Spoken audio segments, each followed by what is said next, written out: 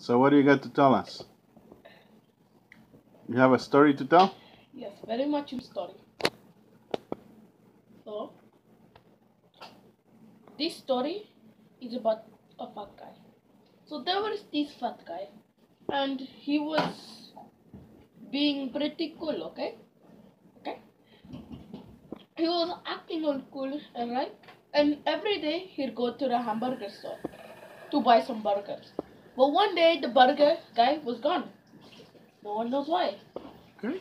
But the guy came, but but then the police came very fast, saying that the hamburger guy died, and he he's gone.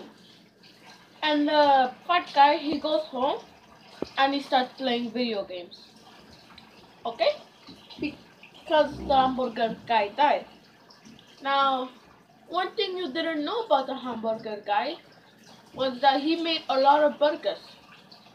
Well, one thing you didn't know about the first guy is he was the guy who ate all the burgers.